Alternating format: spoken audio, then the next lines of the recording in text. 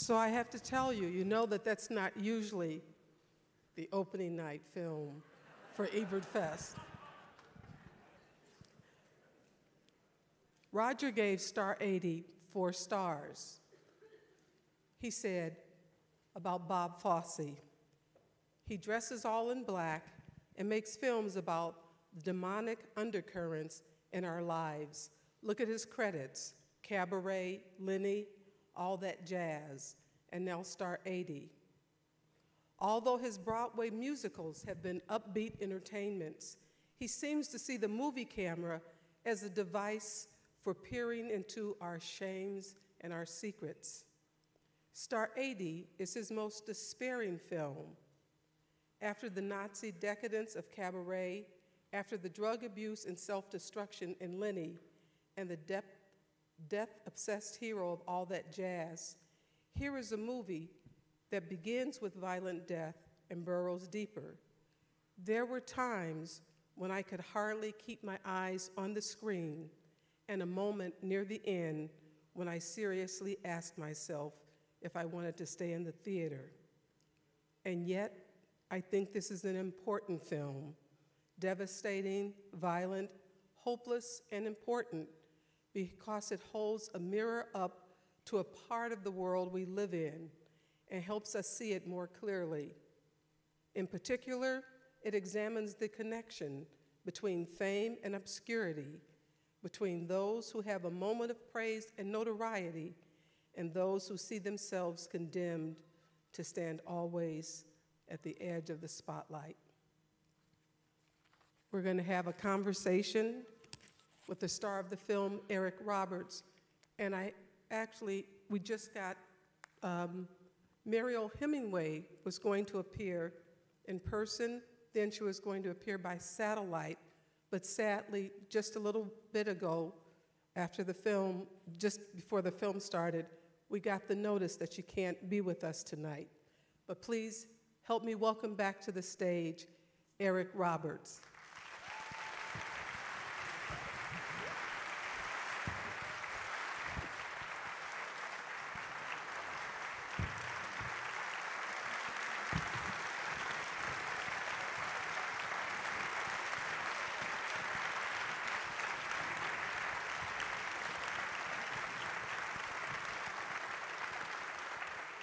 Eric, we have a tradition at Ebert Fest. We give our filmmakers a golden thumb. It was a thumb that was cast by Roger years ago, and Nate Kohn would like to present you with our golden thumb.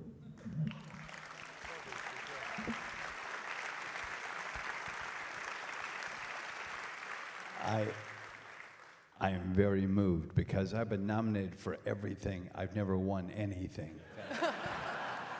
Well, you won a golden thumb tonight. Thank you so much. And we're going to have you sit at the stage. We're going to take the thumb for you. We'll take care of it. Well, while we call onto the stage Dana Stevens, the film critic extraordinaire at Slate Magazine and professor. You're going to see right. We're going to see you right next to Eric Roberts, and another guest who comes every year, Brian Tellerico, the managing editor at RogerEbert.com.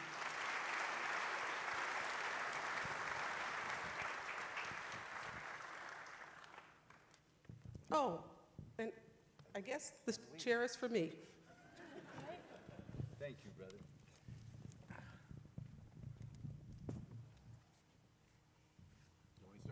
Yes, Eric. Uh, a few times today, a couple hours ago when we started talking and met for the first time, you mentioned, you keep talking about Bob. You always give Bob credit for this movie. You did it backstage, you did it here. Talk a little bit about Bob and what he meant to you and what he meant to you during this movie. Well, first of all, I didn't call him Bob. I called him Fosse. Um, Bob Fosse, and who's the director who did Being There? Um, Hal Ashby. Hal Ashby. Um, I can't remember his name. Uh, Hal Ashby and Bob Fosse were always my favorite directors, and I was determined to work for both of them. And when I heard they were making Star 80, or they were casting Star 80, um, um, I read the article and I thought, wow, I don't want to play this part, but I want to work for Bob Fosse. So I really did a lot of pre homework, homework, and I went in to go meet him. And he, and, uh, he was very gracious, he was very nice, and we talked about women. That's what he talked about. It was weird. He wanted, I guess, to find out my sexuality and what have you. I don't know. But he talked a lot about women and a lot about strip clubs and blah, blah, blah, and blah, blah, blah, and this guy, Paul Snider, and blah, blah, blah. And we just talked for like an hour back and forth. And then he said, Well, I'm going to have you come back, I'm going to have you read for me. So, and I did that five times. And then on the last reading, we read the whole screenplay through for the last time, and he closed, he goes, Hey, kid, want to make a movie? And I said, Oh, yeah, sure. And, uh, but it, it, it was not fun. Like, it's not fun watching it. You're in it and you go, wow, but you don't have fun. Well, it's the same thing with making it. I was in it and I was wowing, but I was not having fun. But he, he gave me the most personal direction I ever got, and I will always hold it dear to my heart. I was doing that scene with the guitar, and I messed up the song, and I said, cut. You don't say cut on a Fosse set unless you're Fosse. And he said, ah, what's wrong with you? I said, I messed up. God, God damn it, come here. And he walks across this huge sound stage at Zoetrope. It's uh, about as big as half a football field. And he walks across, come here, come here, God damn it, come here. And he's all mad. And he's a little bitty, hyper skinny guy. Come here. So I go up to him, and he says, look at me. I said, I'm looking at you. Look at me. And I look at him. And he goes, You're playing me if I weren't successful. Do you understand? and I did. Because he and I had spent you know, three months in together, you know, you know, before we ever shot a frame of the movie. So I knew him very well.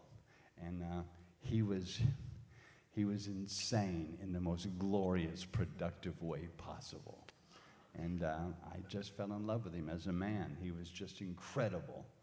And, uh, and uh, he cared. He cared so much about his characters and his actors. He loved actors, which most, most, uh, most uh, directors don't, by the way. But he did. And uh, what else do you want to know? You know, Eric, this movie changed your life, didn't it? Tell us, what, what did this movie do for you? What did it mean for you at the time? And how, what trajectory, how, what did it set you up, up for? Well, I- well, I can tell you a couple of serious things, a couple of funny things. The, uh, the funniest thing is after this movie came out, I'd be walking down Seventh Avenue in New York, you know, which is, you know, you know, you know, you know, kind of my turf, and Seventh in the '50s, and I'd be walking down Seventh Avenue, and I would see a woman recognize me about a block or two away. I'd see them recognize me and go, "Ooh, cross the street." yeah, I mean, it was bad for about three years. And uh, for, for about a thousand days, you know, women were scared of me. And they let me know, no, not you, bye. And uh, yeah, it was, it was funny that way. But, but the, uh, the, uh, the kind of life changing was uh, to make that kind of character, because when you hear what he did, of course, he's unforgivable. But when you understand him, which I came to, when you understand him, he was just a baby and he just got scared. Now, that doesn't forgive him, but it explains him. And, um, and uh, had he lived, by the way, which is so sad, he'd have been a multimillionaire because he invented Chippendales. He'd had all the things he wanted all the girls, all the stuff, all the attention, all the money, all the stuff. He'd had it all. But he made a mistake because he got scared. And, uh, you know, you can't forgive him. What did he do? And my, uh, my wife always makes fun of me because I tell her, you have to like who you play. And she goes, yeah, right. anyway, but I did, I did get an affection for him, even though he was such an asshole. What else? Okay, my question, I have so many for you after seeing this again, and I had not seen it since it came out. Wow. So, but I saw it many times back then. I think I saw it a few You're times. so much older than you look. I was in high school when it came out, but I admired it a lot. And as I was saying to some other critics here today, I was sort of scared to see it again. Like, what if it doesn't hold up? Or what if now it seems sort of exploitive or abusive in a way that I didn't see then? And as you said before the film, you know, that was sort of the pre Me Too era when things read differently. But boy, does it hold up. That movie is amazing. Um, so I guess my, my first question would be about how you created the relationship with Mariel that you have on screen. I know that Fosse had an unusual rehearsal period where he had the two of you together, you know, rehearsing for six weeks before Yeah. the movie shot, which is quite unusual, right? And, uh, and I'm just wondering what he did to help establish and what you two did to help establish that intimacy and that real sense of relationship that the two of you have. I mean, it's, there's just, um, there's so much that, that happens between you. Okay, that's. Um, I'm not a very generous actor after the fact. I don't give you know people credit you know, to be nice, but Mariel Hemingway never got her due.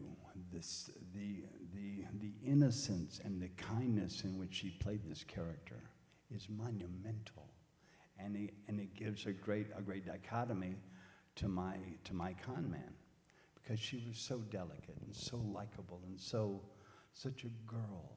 She wasn't a woman; she was a girl, and she was so delicate, and yet she's a big old girl. You know, she's like six feet tall but but but but she came across as just this wonderful, delicate, beautiful thing, and that's acting.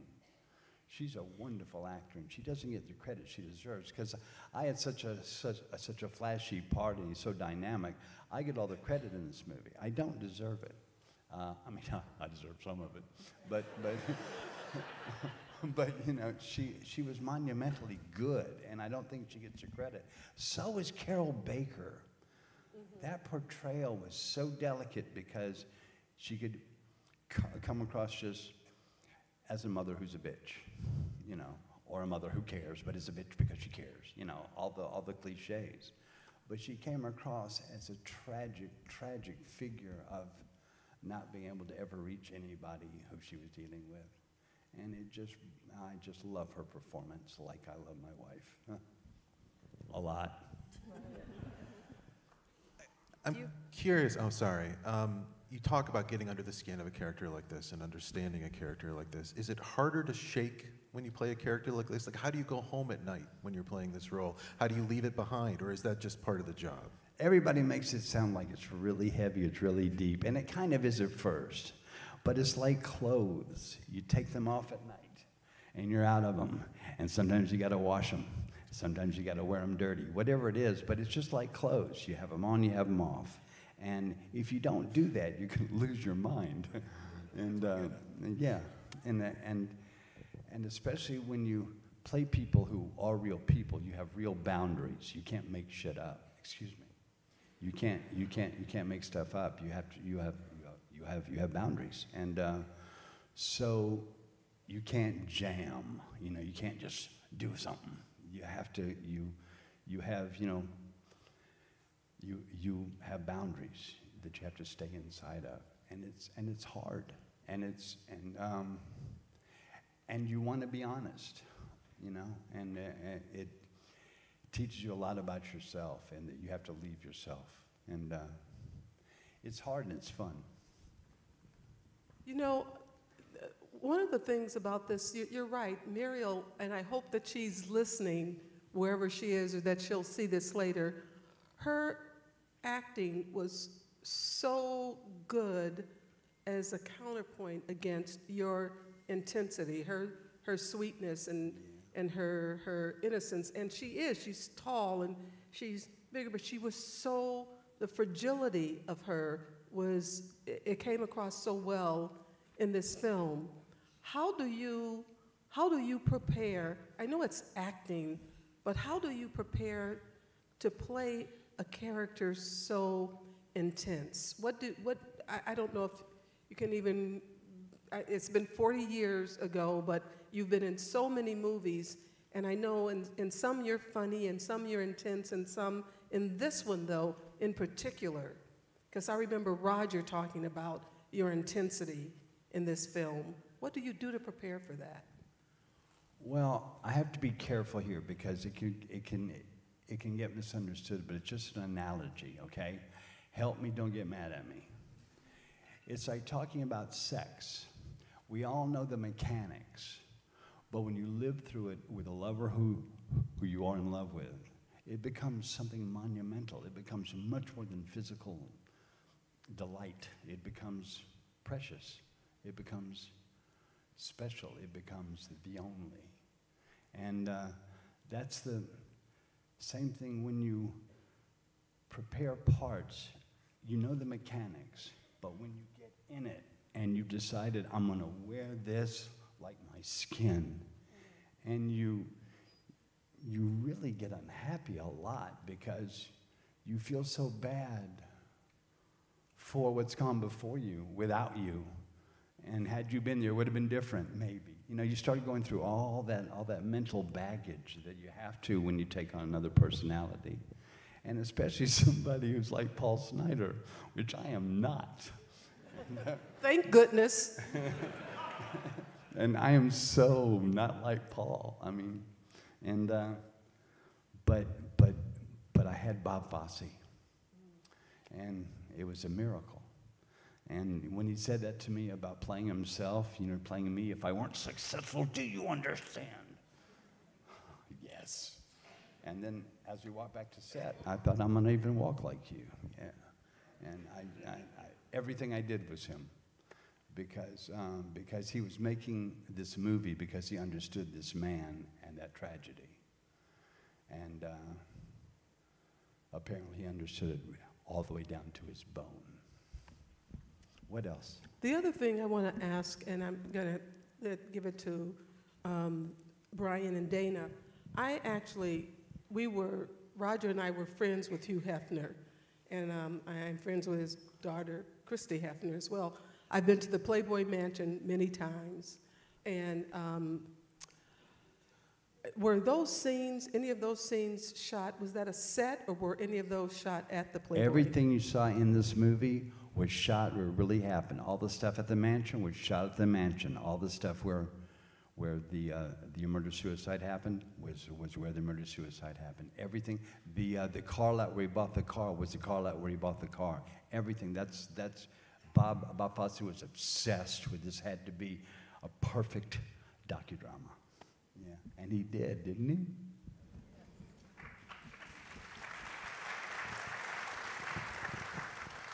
I loved him so much as an actor because you know you can make up a question and he'd have a legitimate answer. He was so good. I was reading just today in, in Sam Wasson's biography of Fosse, a chapter about this movie, that in Hefner's office, there were some letters on his desk, and Fosse had them be letters that Dorothy had written to her mother that were sitting there, I guess, waiting to be mailed or something. so he was so obsessive to the level. I don't know if he wrote them or what was in the letters, but you know, he was imagining what each prop on the desk would, would have been. He was complete. Yeah. Uh, my question to you is uh, maybe not in, in, in fitting with the somberness of this movie, but you also play this character for this dark, dark humor. You know, there were some, some laughs in the audience at some moments with, with Paul Snider because he's so oblivious to how he appears, right? Especially in the scenes at the Playboy Mansion or scenes where he's, you know, out shopping for his new outfits. And, um, and I'm wondering if you have any memory of that, of, you know, how it was to try to find this dark comedy in this terrible story. Well, uh, I didn't have any trouble with the transition because I'm a country bumpkin, and, and, and yet I became a movie star, and I had to learn how to talk and walk and act like a grown up, and uh, uh, so I un- I understood what that what what what he's going through there. He was going through a change, and he was going to be different, and he was going to be better, and uh, adolescents all go through that, but he was a grown up. He was just immature and lost.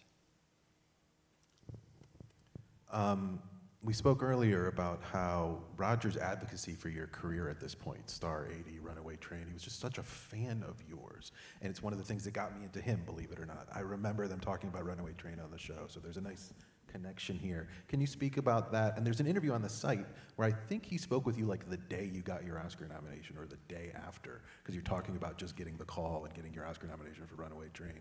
So can you speak about Roger's advocacy and what it meant, or critical advocacy in general? Well, you know, when you, when you have an advocate who is famous, it makes you feel special. He thinks I'm cool, you know. it's nice. And uh, Siskel and Ebert were, were, were, my, were my favorite uh, reviewers. And, uh, and um, I, always, I, always, and I always agreed with them. And uh, so that's why they're my favorite. And, uh, but, uh, what, but, what, Was it important to have that kind of support from the industry, from the critical industry, when you were coming Well, up? When you were here's the thing about support from the industry. In my first movie, King of the Gypsies, I'm getting these rave reviews. I'm the next Marlon Brando. I'm- James Dean and I are brothers. Blah blah blah. This ridiculous complimentary bullshit. And then finally, I get to one that says he's a bad imitation of Richard Gere. and and I and I and I got mad. But then I turned to my manager and I said, bah, bah, bah. and he goes, look, if you're going to believe that, you got to believe that. If you're going to believe that, you got to believe that. I suggest you don't read them. So from that day to this, I have never read a review. I asked my wife, say, hey, are they good? but but no, I don't read them because I'm not a bad imitation of Richard Gere.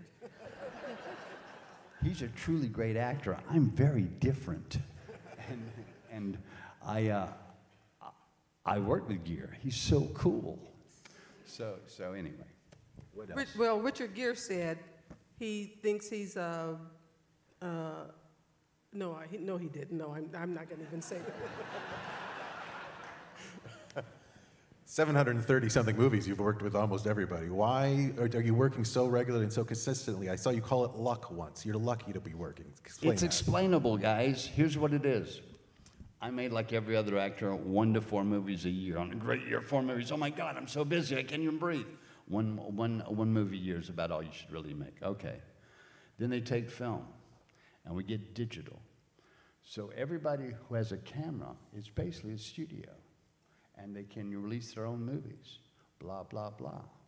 So my wife, this is about 1994, 5, 6, and 7 is the transitional years. And my wife comes to me, she goes, honey, sit down. What's up? She goes, we're getting 30 to 50 offers every day from all over the world. And some of them are real. do you want to go do this? Yeah, sure, why not? Yeah, let's, let's go see the world for free. Come on, let's go. So we did for about three years. We just worked every, I was on a set literally every single day somewhere, having the time of my life. And, uh, and uh, what's the question? I think you answered it. But it, it was just, it was just fun. And they just kept offering. And we still get 30 to 50 offers every day from all over the world. And it makes me so embarrassed and so happy and so proud.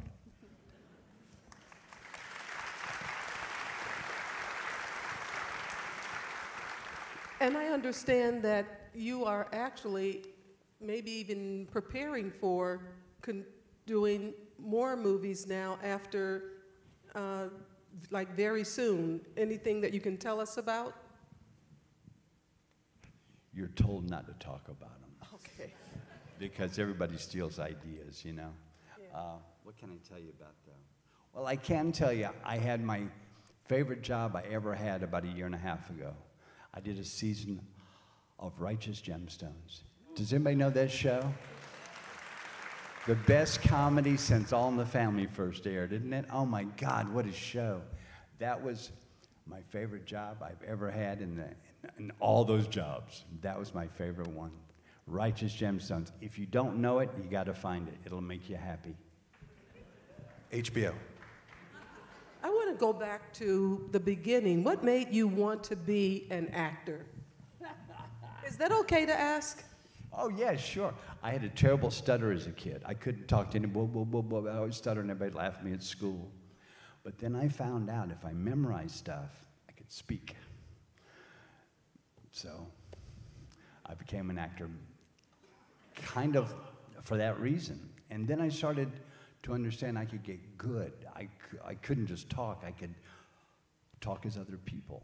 And I started to love them. And the first part that I felt I ever really had to understand to become the part was, was uh, John Henry and Member of the Wedding. I was eight, and I was doing it with all these grown ups. and, and, uh, and, and uh, John Henry dies. But he's got this, he's got this moment where, where he, uh, he calls Frankie, Frankie, Frankie, Frankie. Only I imitated my baby sister, who would always call me Eric. So I said, Frankie. And that was kind of, I'm only eight years old, but that was my first step in taking my life and overlapping it into acting. It sounds very uh, unimportant, but it, it was, it was a moment in my life that I understood that you know, life and art overlap completely, and you can do that.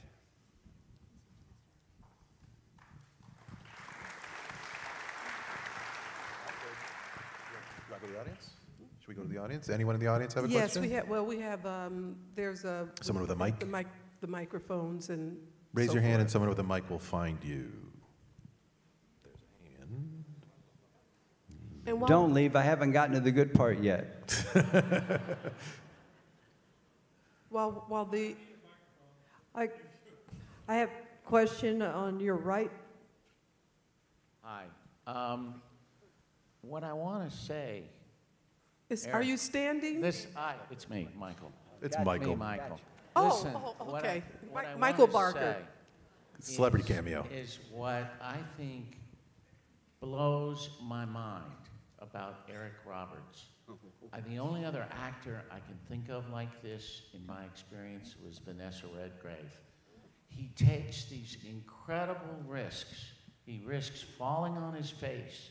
He does all these extreme characters, and i i it's it's just an amazing thing. And that he's here with us today, and so exuberant and happy after playing all these extreme characters. It's really amazing, and I think he's the epitome of great actors because he's not afraid to take those risks. Thank you. That is so nice, thank you. Ask me a question or two. What do you want to know? Uh, I think someone there. Microphone? I'm not on. Question from the balcony in the Bal- center. Yes, the balcony, please. Hi, just want to know where you come from and how where you come from affects how you act. Well, uh, my first uh, half a dozen years were spent in New Orleans. My next half a dozen years were spent in Atlanta, and then 22 years in New York, and uh, then another 20 years in New York and LA back and forth. And that's me. And uh, I love Southern cooking, even though it'll kill you. And uh, and uh, I am I am indeed, even though I have have uh, have have uh, have lost my first accent. Uh, I am a Southerner, and I love the South.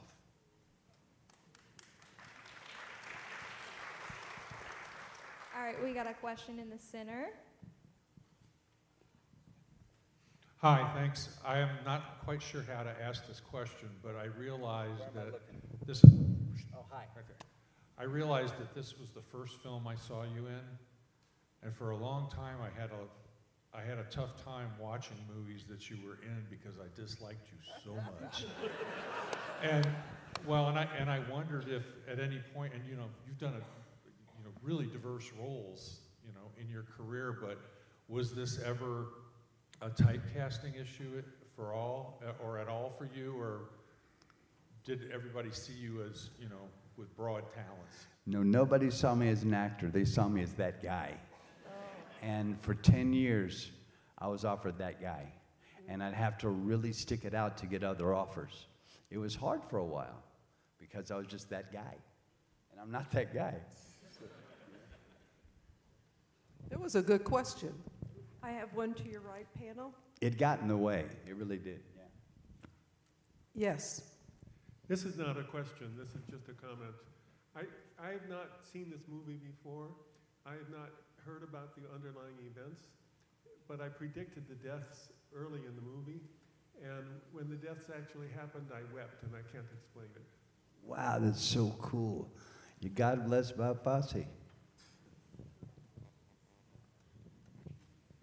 From the balcony in the center. Hi, you were mentioning uh, Bob Fosse being a genius, and obviously he is, and a legend. Uh, you worked with another genius and legend in Sven Nykvist in this film. And I was wondering if you had anything to, to say about him and. I could talk all day about Sven. He and I were very close. We worked together three times. My first movie, my best movie, and the Swedish piece of junk. But, but, but, but he was one of the coolest guys in the world. He was very mild mannered. He was very handsome. He had, he had like you know, white hair and a white beard. He was tall. He was cool. He had a Swedish accent, sounded very sexy, you know, very cool guy. And, uh, and yet, and yet he was, he was an artist down to his bone marrow. And uh, he would ask Fosse, what's the mood? And Fosse would say, well, it's bleak today, one this and this and this. Oh, you want a little darkness? Okay, okay. he was so, he's a wonderful guy. And uh, he loved actors too. Uh, he, uh, yeah, he was a neat person. I was, I was very sad when we lost him. We got one in the house to your left. To the left, okay, and Hi. Hi. One of my favorite movies is Raggedy Man. Could you, I know it's not Star 80, but could you tell us a little bit about it? I just loved you in that. Well, it had been uh, I made I made I made King of the Gypsies, and then I did a thing called Paul's Case for the American Short Story Series, and th- then I did Raggedy Man. And Raggedy Man, I played I I played a boy that I grew up with.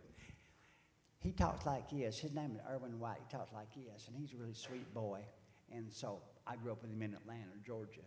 And uh, so when I so when I so so when I read this part, I thought, oh, this is Irwin. Oh, I got to play this part because I know this this this boy. So I went and auditioned, and uh, Jack Fisk, who was Sissy Spacek's husband, who gave me the part, and um, then we then I then I played a good guy. He was a good guy, and uh, but it didn't it didn't it didn't change everybody's image of me. they they they still thought I was that guy.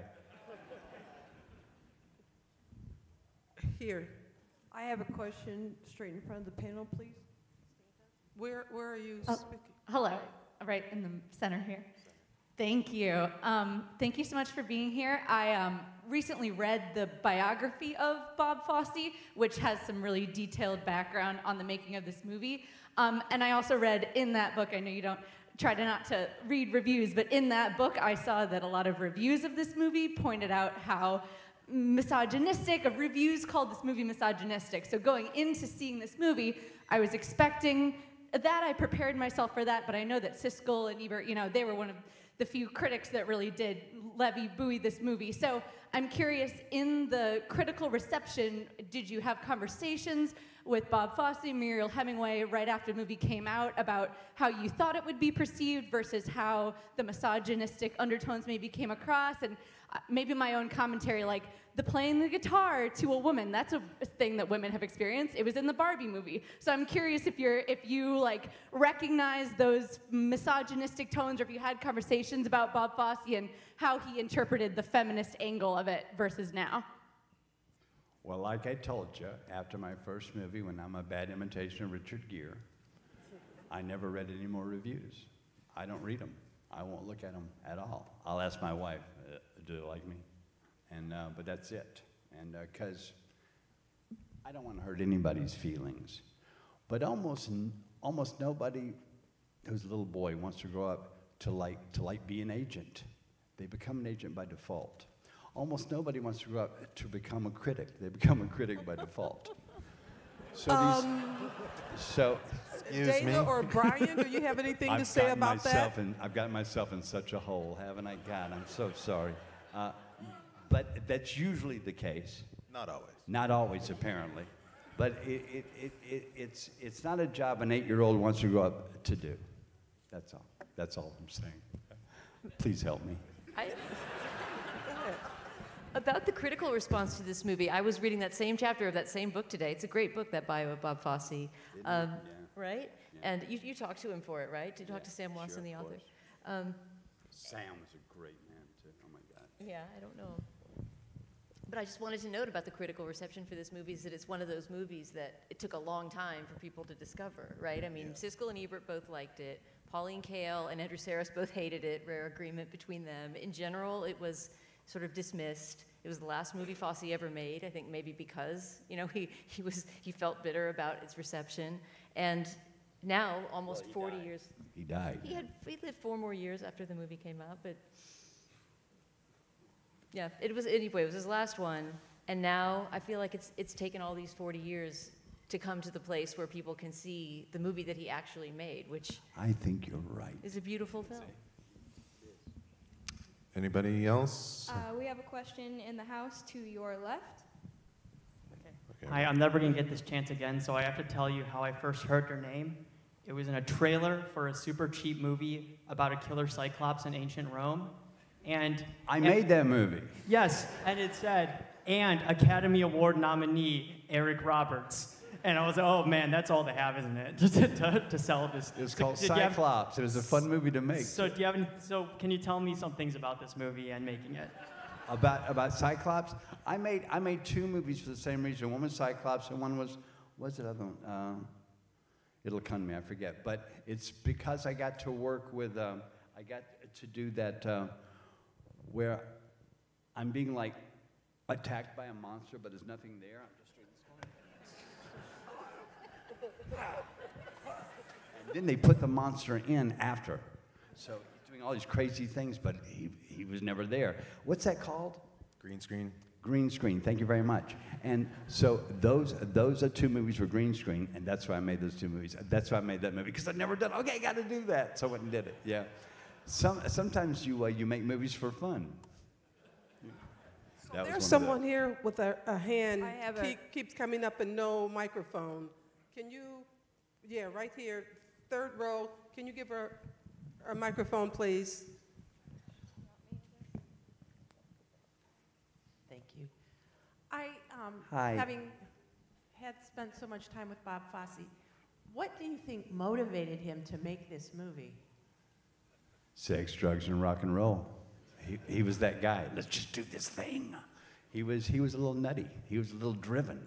He was a little mad. He was a little perfect. He was, he was a lot of things, and he was just driven.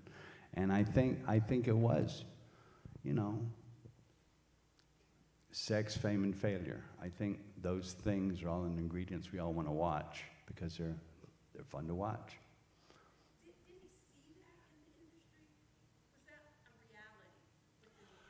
You're asking me an intelligent question. I'm an actor.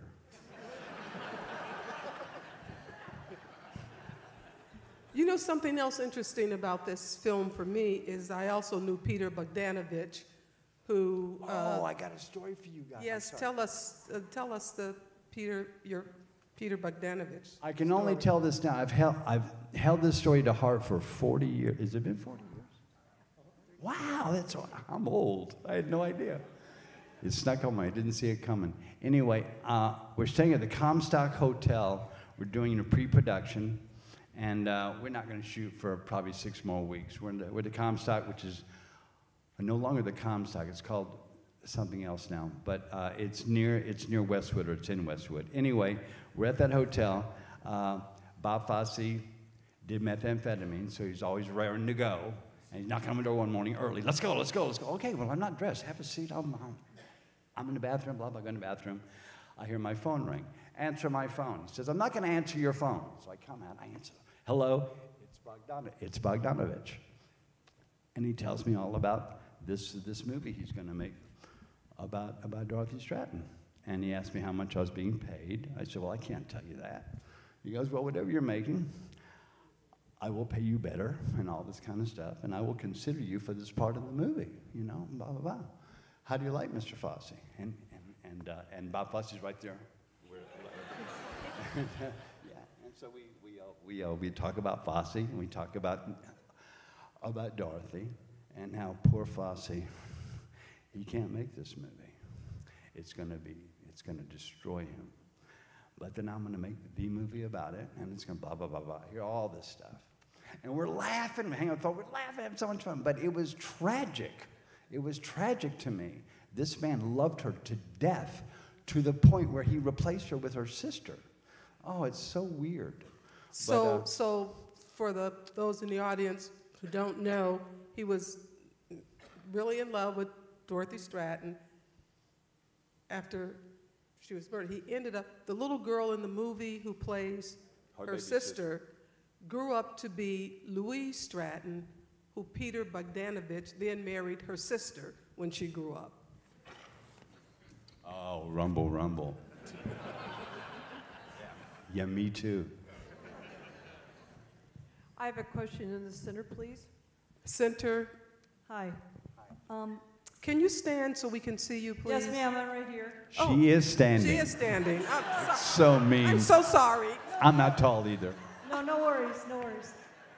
Um, Thank you so much for being here tonight for this wonderful You're program. so welcome. It's so much fun to be here. Uh, it's just the best. Um, so, sobriety was an important part of Roger's life, and I know, or I read anyway, that that's also an important part of your life as well. And I wonder if you could talk to us a little bit about, um, you know, like how becoming sober might have or, or didn't, you know, Well- change your yourself as a as a actor, you know.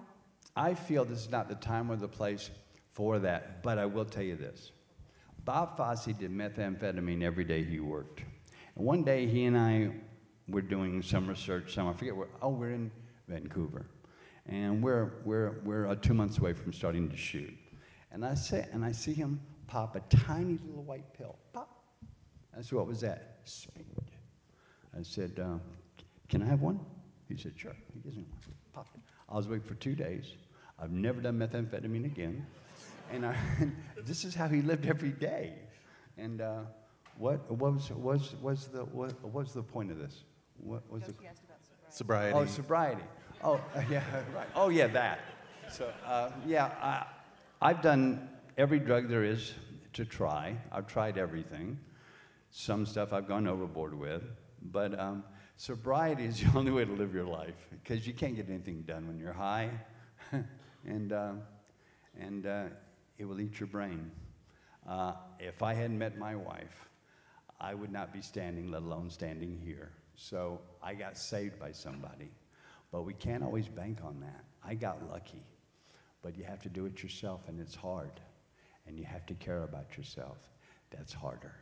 And you know what? We care about you, and we thank you so oh, much for Thank you, coming tonight.